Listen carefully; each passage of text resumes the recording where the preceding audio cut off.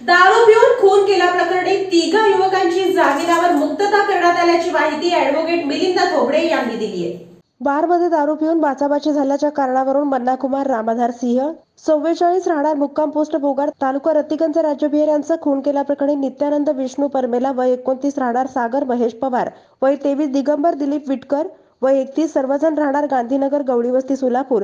यांना जिल्हा आणि सत्र न्यायाधीश योगेश राणे यांनी जामीन मंजूर केलाय. यात हकीकत अशी की दिनांक पाच सात दोन हजार तेवीस रोजी मयत हा दारू पिण्यासाठी परमिट रूममध्ये गेला होता. नमूद आरोपी देखील दारू पिण्यासाठी तास परमिट रूममध्ये गेला होता. यावेळी हॉटेल बंद झालं असल्याचं तेथील मॅनेजरनं त्यांना सांगितलं आणि पार्सल घेऊन जाण्यास विनंती केली. यावेळी मयत आणि आरोपी यांच्यात बाचाबाची झाली. याच कारणावरून हॉटेलमध्ये मैतास मारहाण चालू झाली. यावेळी हॉटेल मॅनेजरनं सर्वांना बाहेर काढून हॉटेल बंद केलं आणि मैतास हॉटेल बाहेर मारून टाकण्यात आलं. अशा आशयाची फिर्याद विलास नारायण बोली यांनी एमआयडीसी पोलीस ठाणे येथे दिली होती. तपासादरम्यान आरोपीने मैताला मारहाण करतानाचं सीसीटीव्ही फुटेज पोलिसांनी न्यायालयात सादर केलं होतं. यात आरोपींनी ॲडव्होकेट मिलिंद थोबडे यांच्यामार्फत जिल्हा आणि सत्र न्यायालय येथे जामिनासाठी अर्ज दाखल केला होता.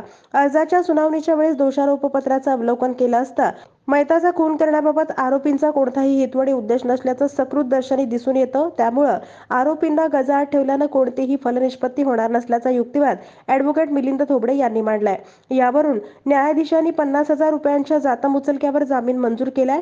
यात आरोपीतर्फे ॲडव्होकेट मिलिंद थोबडे ॲडव्होकेट सतीश शेटे यांनी तर सरकारतर्फे ॲडव्होकेट आनंद नरखेडकर यांनी काम पाहिले